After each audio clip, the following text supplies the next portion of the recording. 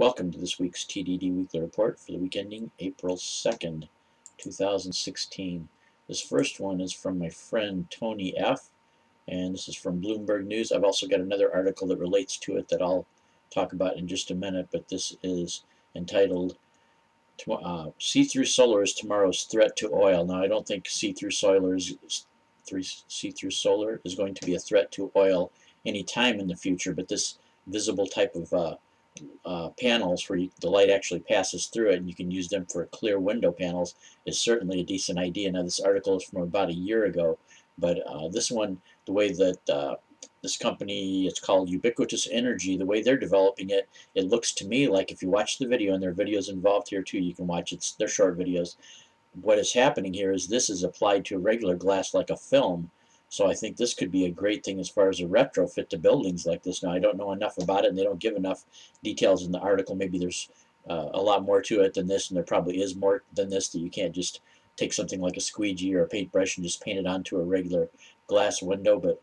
that's basically what they are talking about, though, is a coating. Um, to make it um, a co transparent coating that actually produces solar energy. Now, the one thing about this is since you're allowing visible light through, the only other things, the only other types of light that you can use to produce the energy are lights that can be absorbed, and that would be your ultraviolet and your infrared light.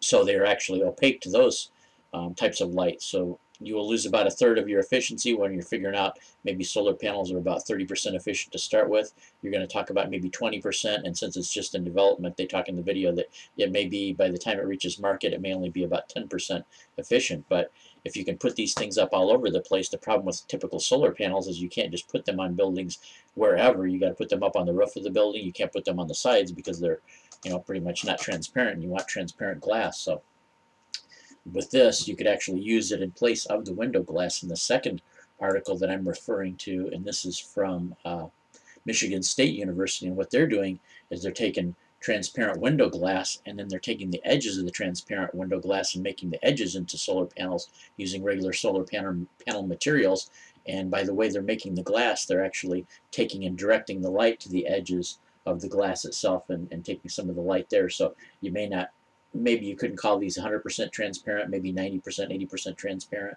but still for uh, the sides of buildings, I, I think you've seen a lot of those too, and they're not fully transparent anyway. They've got the reflective coatings and things like that. So if you get a chance, read the article from Extreme Tech, where they've got this competing uh, thing, you know, a competing way of uh, actually doing clear solar panels. But since both of these articles from about a year ago, I think we're looking at typical development times. If it's pretty quickly, they may be done with it in a couple of years. So we may be looking at maybe one year later, a, year from now, these things actually coming to market, at least in some form, even if it's just test setups or something like that, some actual practical versions of these things that we can see working instead of just in laboratories. So this next one is from my friend Papa Tutu Ray. Samsung Smart Windshield needs to get into production as soon as possible. And this one has a YouTube video too, about one hour, one hour, about one minute, 18 seconds video, and it's uh, it doesn't project up onto the windshield. It's got a little transparent thing below the windshield that projects where you can look down slightly and see what's going on. And it hooks up to your cell phone, and it'll project things about your traveling and your GPS and stuff like that. But one thing that kind of concerns me too is it's uh, it's talking about giving you information that you receive phone calls and that you've received texts from people and then responding to the texts. Now, they're trying to make it appear that it's going to be safe, because it doesn't show it displaying the text so that you would try to read the text somebody sent you. But if you're getting sent a lot of text, you're going to be looking down to see who text texted you and then talking or whatever way it, method it uses to uh, uh, tell it to send back a text, you know, like a, a pre preformed text that you have, like I'm driving, I'll get back to you soon or something like that.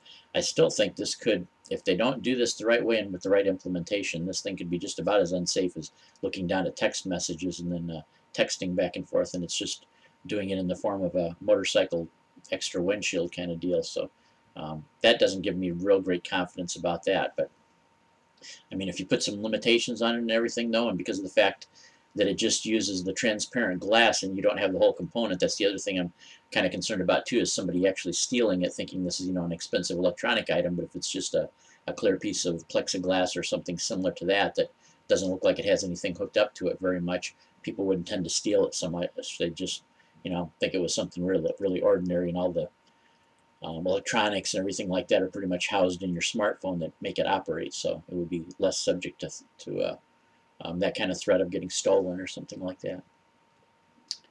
And this last article was sent to me by Tom, Navy Thomas 8.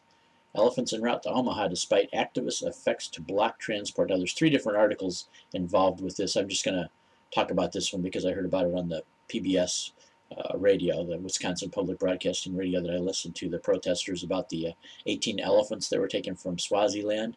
And uh, I'm, I really can say that, yeah, I don't like the idea of just, you know, buying elephants to bring them over for here to display, but that was not what this was all about. I mean, the Henry Doorly Zoo and a couple of other zoos got these groups of elephants to pretty much save their lives. If you see some of the video on here, these elephants were coming in rather emaciated, and I guess there's a really bad drought going on where these elephants are coming from, so this may have been a, a rescue for these elephants. I guess Wichita and Dallas are going to get six of them each too, so the 18 elements, elephants will be housed in three groups, and they're going to be kept together in social groups. They they claim that the group that went to Omaha is all six elephants are part of one social group, so that's another problem with elephants too. If you just uh, send elephants over to zoos willy-nilly, they're not necessarily acclimated to be in that group. They haven't spent time together and, and socialized together. They're very social animals. So um, give me your thoughts. Look at the uh, look at the article I'm posting and then look at the two side articles. One's called Six Swaziland Elephants Coming to Henry Doorly Zoo and the other one is Omaha Henry Doorly Zoo and Aquarium Approved for Elephants. So give me your opinions. What do you think? Do you think we should just uh, let them uh, stay in a place if they're endangered of uh, starvation or dying from dehydration and it's uh, we have a chance to rescue them. Should we try to do it or should we just, you know, let nature take its courses and let the elephants die now?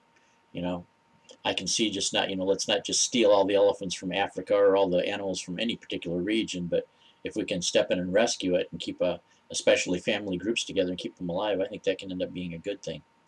So anyway, that's about it for this week. Thank you. Uh, all three of you guys for sending in the information for uh, this week's TDD report. I really appreciate con contributions and all the contributors that make it possible. So I will catch you next week.